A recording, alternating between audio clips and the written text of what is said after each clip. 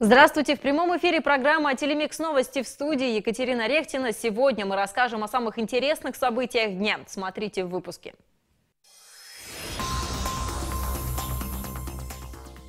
Проблемы с отоплением? Звони на горячую линию. Заповедное дело – занятие жизни для исследователей природы. Лесные пожары. Одни остановились, появились другие. Открыть сердце для добра. Каждый может завтра. Морозы наступают по ночам с этой недели. Курс на чемпионат мира уссурийцы отправились за медалями. Одному понять, сыграть и удержать моноспектакль в местном театре.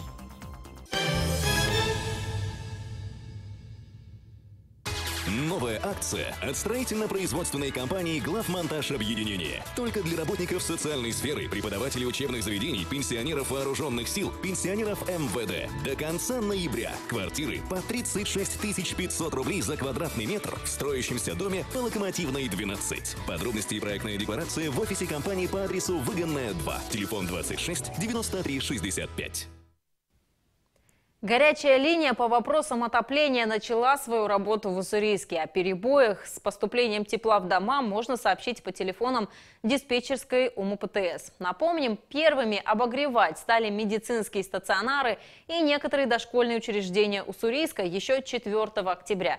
Сезон горячих батарей в квартирах горожан стартовал в это воскресенье. Однако подача тепла зависит и от управляющих компаний города. Не все организации подключили жилые дома. Сообщить о перебоях с отоплением и задать свои вопросы можно в диспетчерской УМПТС по номерам 32 01 14 32 41 74, а также в единой, а также в единой диспетчерской службе округа 112. Только в понедельник сотрудники УМПТС устраняли несколько порывов теплотрасс. Пока отопительная компания войдет в штатный режим, возможны аварийные ситуации. Новые правила экзаменов в ГИБДД и регистрации транспортных средств вступили в силу с середины октября. Например, теперь оформить международные водительские права или заменить те, что потерялись, можно за 15 дней через МФЦ. Ранее на это давалось 10 дней. Оплачивать госпошлину за экзамены и выдачу удостоверения нужно до того, как подали заявление. Сами экзамены тоже претерпели изменения. Так, для будущих мотоциклистов обязательным стало упражнение «Скоростное маневрирование». И появился новый вариант этого задания, который можно выполнить на любой площадке. А если упал с мотоцикла, то не сдал. Если экзамен в госавтоинспекции проходит зимой, а из-за снега не видно границ упражнений, то обязательно нужно выставить конусы или стойки. А также такую площадку нужно обработать специальным средством, чтобы не было гололеда. Хранители заповедного леса отметили профессиональный праздник. Биологи самых разных специализаций стоят на страже природы, фиксируя ее и оберегая от вторжения человека. Один из таких нетронутых уголков находится у нас под боком. Уссурийский заповедник имени Комарова. Вот уже несколько десятков лет там трудится ученый-ботаник, которая и провела для нашей съемочной группы занимательную экскурсию. Четыре колеса помогают объехать владения. Вот уже 30 лет за растениями в Уссурийском заповеднике имени Комарова наблюдает Любовь Федина. В одиночку биолог обследует 40 с половиной тысяч гектаров леса. За столько лет работы Любовь Александровна изучила, казалось бы, каждую травинку. Но природе вновь удается удивить специалиста. На первый взгляд обычная осока оказалась растением, которое сейчас не должно зеленеть. В связи с тем, что там нету шишавости и многих других признаков, я ну, определила, что это ореорхис. И даже в литературе идет, что такого развития у него осенью не наблюдается. Где-то в летом, в июле где-то начинает отмирать у него листья, и растение уже практически уходит без них. А сейчас получается, что у него именно развитие закладывается с осени, Каждую необычную находку исследователь фиксирует, записывает приметы в блокнот, фотографирует, берет образец для изучения с собой. Вдруг такой экземпляр больше не встретится. Любовь Федина никуда не торопится, хотя в начале своей карьеры действовала по-другому. Раньше, конечно, мы по много километров пробегали, но как? Молодые, неопытные, от побежали, побежали и прибежали. А сейчас уже меньше ходишь, но больше видишь. В осенней листе притаился собрать женьшеня – элеотерокок. Колючий кустарник известен своими лечебными свойствами, но в отличие от краснокнижного коллеги, не подвергается нападкам браконьеров. Но вот на элеотерокок пока еще особого Нету спроса, хотя он считается более лекарственным, чем женьшень. Но, тем не менее, вы, наверное, видели, обращали внимание, что везде есть такие объявления, что куплю корни элютера кука. Вот, пожалуйста, это он, но надеемся, что для такого массовых заготовок дело не дойдет. Буквально 15 минут на машине, и гостям заповедника открывается совсем другой вид. На месте леса поднимаются скалы, а с другой стороны дороги журчит река. Такие картины по нраву не только человеку. Зачастую сюда наверх выходит тигр амурский, чтобы полюбоваться на окрестности. В частности, вот река Комаровка его привлекает. Хотя на пути Любови Фединой полосатая кошка ни разу не встретилась. Наверное, к счастью. Зато приходилось видеть медведей, пятнистых оленей, барсуков и даже дикую свинью с поросятами. На такой работе скучать не приходится. Был период, когда я три года не работала. Ну что вы думаете, мне лес снился. Я скучала именно по этим местам, знала, что это здесь, это там. Думала, ну как они без меня, как я без них. Вообще это такая тоска была. Сейчас природа готовится к зимнему сну. Почти все деревья и кустарники оголились. А когда, как и почему, выясняет Любовь Федина. Ведь каждый процесс, который происходит в жизненном цикле растения, одинаково важен для исследователя. Все свои наблюдения и открытия научный сотрудник Уссурийского заповедника публикует в специальной литературе, которая будет полезна для коллег и потомков. Анна Клыга, Сергей Флоренцев, Телемикс. Ребенка сбили на пешеходном переходе в минувшие выходные. ДТП случилось на перекрестке улиц Некрасова и Амурская. По рассказам женщины, она с двумя детьми прогуливалась по городу. Когда с младшим зашла в сквер, услышала визг тормозов. Обернулась, старшей дочери нет рядом. Ее сбила машина. Водитель Toyota Hiace, мужчина 60 лет, двигался по улице Некрасова со стороны Ермакова и не предоставил преимущество пешеходу. Девочка 12 лет переходила дорогу по зебре. В итоге наезд. Ребенок с сотрясением головного мозга был доставлен в больницу. Более 130 гектаров леса потушили за сутки в Приморье, локализованные возгорания в Кировском, Партизанском и Тернейском районах.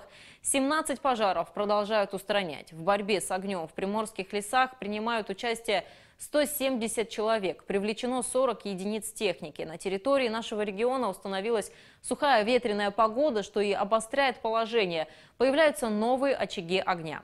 Напомним, по распоряжению временно исполняющего обязанности губернатора края 12 октября введен особый противопожарный режим. Это подразумевает запрет на пребывание людей в лесах, разведение костров на территориях муниципалитетов, сжигание мусора. Несоблюдение всех требований карается штрафами. Краевая казна уже пополнилась на полтора миллиона рублей благодаря любителям огня и спичек на природе. Новостройка Поплеханова 20 распахнула двери для новоселов. Два года кирпичный дом возводила компания «Арсей». Стильный красавец в самом центре города стал украшением микрорайона. Наша съемочная группа оценила все достоинства новой пятиэтажки. Атмосфера особого торжества царит вокруг. Пятиэтажка Поплеханова 20 готова распахнуть свои двери. Новоселы получают долгожданные ключи. В целом в здании 103 квартиры, одно-, двух- и трехкомнатные. Семья Савиных в легкой растерянности. Просторная трешка, которую долго ждали, вот она. Глава семьи оценивает масштабы работ. Девчонки мысленно рисуют интерьер. Эмоции, конечно, переполняют. Это первое наше жилье, собственная квартира. Дети очень рады, мы очень рады. Вот. Теперь э, предстоит тоже большая работа, сделать ремонт в квартире, затраты, естественно, тоже. Ну, это приятные хлопоты. Дом построен в особом для компании «Арсей» стиле. Новое пятиэтажное здание как нельзя кстати вписалось в облик улицы Плеханова. Преимуществ много. Здесь интересная планировка квартир, уютные подъезды. Витражное остекление лестничных проемов открывает отличный вид во двор. А здесь уж и есть где детворе разгуляться. Выбор как таковой не стоял. Мы ждали дом именно от этой компании, от компании «Арсей», потому что нам нравятся те дома, которые они строят. А, и поэтому, когда объявили, что планируется застройка еще и в центре города, то выбор особо не стоял. В структуру новостройки отлично вписалась спортивная площадка с провизийным покрытием для игр. Отдельное место и для совсем юных жителей дома. Горки, карусели, песочница. По периметру территории ровный газон. Все условия для хорошей жизни уже созданы. Красавец дом. Наша компания сдала. Сегодня двойной праздник. Покров и вручение ключей. Мы рады, что успели все сделать. Большое спасибо всем тем, кто нашей компании доверяет. Ну, а от них теперь зависит, чтобы все было так же красиво, как мы им сдали. Украшать Уссурийск новыми домами Арсей планирует и дальше. Следующий большой проект – жилой комплекс на Агеева, Ленинградской. Ольга Муравьева, Сергей Флоренцев, Телемикс. Отголоски паводка по закону выплаты за ущерб после наводнения положены всем, кто оказался в зоне бедствия. Как быть, если человек живет в пострадавшем от воды доме, но так и не прописан? Ответ смотрите в рубрике «Телеконсультант».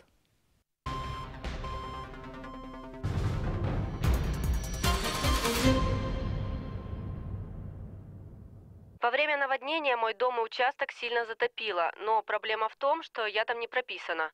Уже не первый месяц пытаюсь доказать свои права на материальную помощь.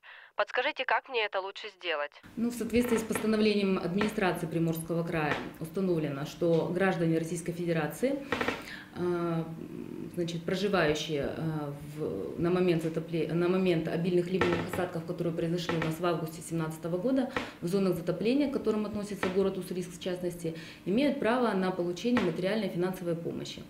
На повреждение дома, э, на утрату урожая, на частичную, в случае, если частично у них было или полностью утрачено имущество первой необходимости, э, но, э, да, но все граждане имеют право на получение этих всех выплат только при условии постоянного проживания.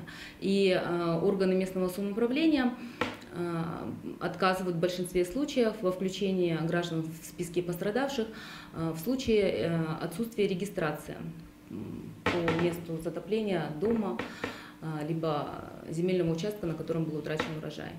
В данном случае граждане могут э, обратиться с заявлением в суд самостоятельно, либо обратиться с заявлением соответствующим в органы прокуратуры, чтобы прокурор обратился в их интересах э, значит, в суде э, для установления факта постоянного проживания по месту затопления. Подтверждающими документами могут служить квитанция об оплате, то есть платежные документы об оплате жилищно-коммунальных услуг, Документы, подтверждающие получение э, медицинской помощи по месту затопления. Э, документы, подтверждающие получение пособий, пенсии и так далее. И, соответственно, показания свидетелей, соседей, желательно двух и более лиц. В случае э, значит, формирования такого пакета документов мы можем обратиться с соответствующими заявлениями интересных граждан.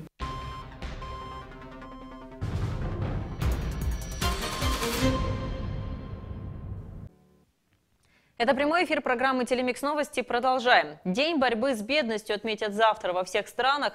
В нашем городе к этой дате приурочена акция «Открой сердце для добра». Все неравнодушные жители округа могут протянуть руку помощи тем, кому это необходимо. Впервые Уссурийск включился в подобную акцию помощи 6 лет назад. С тех пор каждый год горожане не остаются в стороне. На этот раз еще больше крупных магазинов откликнулись на проведение благотворительного сбора. Продукты питания и предметы первой необходимости будут собирать волонтеры. С 17 октября с 12 дня и до 8 часов вечера открыть сердце для добра можно будет в крупных супермаркетах Уссурийска. Адреса пунктов сбора помощи на экране. Ночи в Уссурийске станут холоднее. С начала недели столбик термометра в теплое время суток может опуститься ниже нуля. Осадки не ожидаются. Во вторник днем будет теплый ветер, но с порывами солнышко еще погреет уссурийцев. Температура плюс 8-11 тепла. А вот, ночь на, а вот в ночь на среду придут заметные морозы. Столбик термометра опустится до минус 8, а на северо-востоке края даже до минус 15 градусов. Но уже в четверг немного потеплеет, хотя и возможен небольшой дождь а в темное время суток температура сохранится плюсовая. Примгидрометцентр также сообщает, что в начале ноября может пройти первый настоящий снегопад. Именно к этому времени в регионе похолодает настолько, что снег не растает.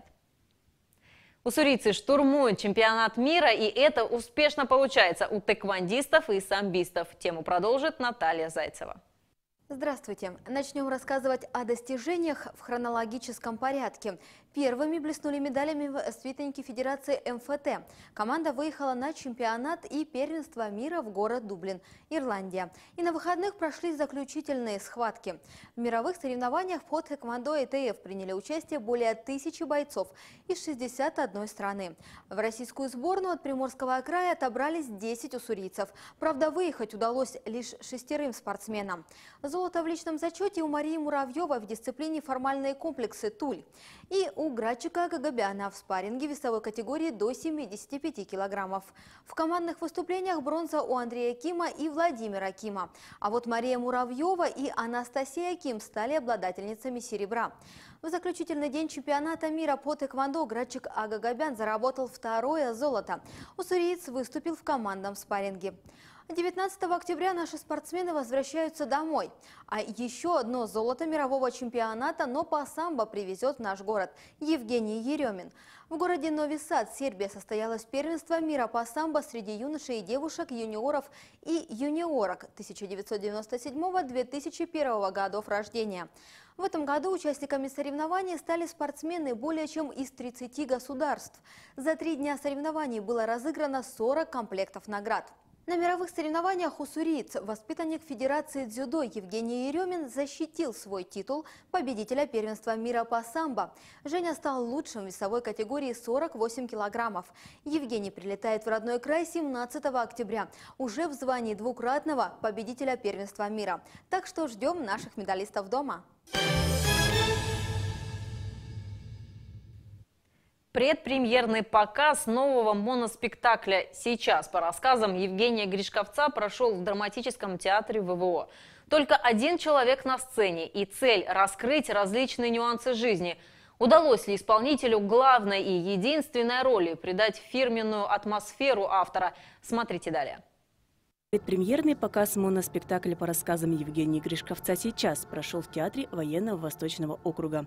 Актер Василий Кирин перед выступлением волнуется. Шутка ли удержать внимание зала одному, а в помощь только минималистичный реквизит, где герой должен заставить зрителя вспомнить самих себя. Таков фирменный стиль этого автора. Ну это, знаете, обычный нормальный человек, который остановился. Вот он остановился и посмотрел вокруг себя, осознал, что в его жизни что-то не так происходит. А вот у режиссера спектакля уверенности больше. Сложности в освоении материала не пугали. И спектакль родился менее чем за полгода. Сложности, наверное, в том, что это сборник рассказов, это не пьеса. И нужно рассказы было выстроить логически так, что это вот одно цельное действие, чтобы оно не прерывалось. Логически и не было такого, так одна история закончилась, началась вторая. А, ну и, конечно, то, что один артист на сцене, это очень сложно. Это, но при этом вызывает дополнительный интерес. Зрители в ожидании, увидят ли привычного и любимого Гришковца и справится ли исполнитель главной роли. Ведь в первые минуты волнения актера было заметно. Но ко второму рассказу Василий Кирин набрал скорость и полностью влился в роль человека, который остановился здесь и сейчас, чтобы ощутить все нюансы жизни. Фирменные шутки автора и философский взгляд. Каждый смог узнать себя в герое, пережить давно забытые эмоции или просто посмеяться над собой же. В принципе, да, кое-где там я прям проникся. Недавно ездил вот в э, в отдаленную страну и вспомнил всю эту историю с чемоданами. И хорошо очень окунулся и, и действительно злорадствовал эм, по поводу того, что коллеги никуда не съездили, а я вот съездил, приехал. И, и вот все было так, да. Любой рассказ, который мы сегодня видели, это все про нас, все про жизнь, про наши эмоции. Те, кто успел купить билеты на ночь в театре, смогут посмотреть моноспектакль уже с 28 октября. Екатерина Воронина, Игорь Антонов, Телемикс. Продолжит выпуск наша постоянная рубрика «Будем вместе». Сегодня мы расскажем о Кате. Девочка учится в седьмом классе, старательная, усидчивая и исполнительная. Любит подвижные игры. Катюша мечтает о семье, доме, где ее будут любить и называть дочкой. Знакомьтесь.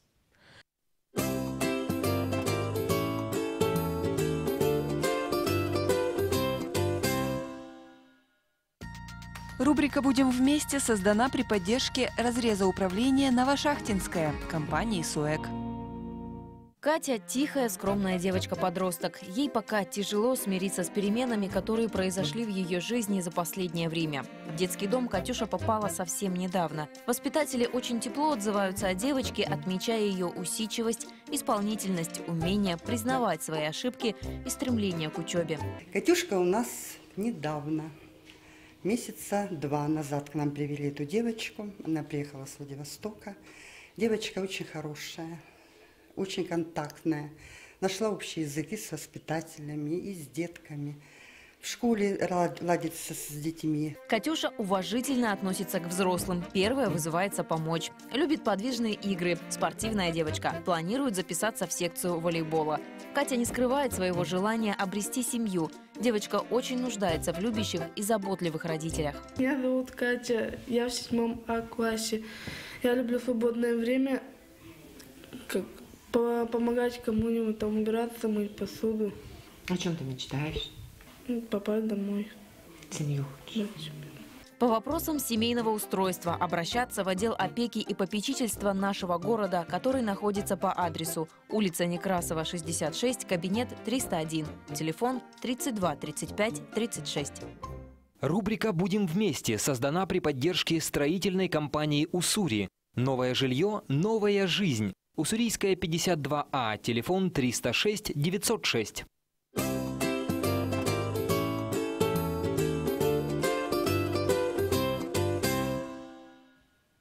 Народные кухни ждут за покупками. Новый магазин известной сети открылся в Уссурийске на территории азбуки мебели. Красивые, удобные и качественные гарнитуры, товары для дома, обеденные зоны и многое другое. На Краснознаменной 184. Рады приветствовать вас на открытии нового магазина сети «Народные кухни». Аплодисменты! Настоящий праздник в прохладное субботнее утро. Свои двери для горожан распахнул магазин народной кухни по Краснознаменной 184. Десять лет назад уссурийцы узнали об этом бренде и скоро стали постоянными покупателями. Открываем магазин! Народные кухни – это более 50 коллекций от лучших российских производителей. Стильные и лаконичные решения, разнообразие цвета и фактур. Материалы устойчивы к внешним воздействиям. Как раз то, что нужно хорошей хозяйке. Ваша задача – выбрать кухню своей мечты, а опытные специалисты установят покупку. В октябре в магазине «Народной кухни» действует акция «Услуги по доставке, подъему и сборке» мы оказываем абсолютно бесплатно при покупке от 25 тысяч рублей. Сделать правильный выбор помогут продавцы-консультанты, которые подберут кухонный гарнитур нужных размеров и составят бесплатный дизайн-проект. Есть из чего выбрать, поэтому я сюда обратилась. Магазин достаточно просторный, удобный, ну а самое главное в ней продавцы. Продавцы очень доброжелательные. Мы выбрали кухню. Очень прекрасная кухня, мы ее вот приметили и пришли сегодня за ней. И очень рады и счастливы. И по традиции приятный бонус. В честь открытия магазина предоставлялась скидка 10% на весь ассортимент. Народные кухни в Уссурийске находятся по адресу Краснознаменная, 184. Анна Клыга, Сергей Флоренцев, Телемикс. На этом пока все. В студии работала Екатерина Рехтина. До встречи на нашем канале.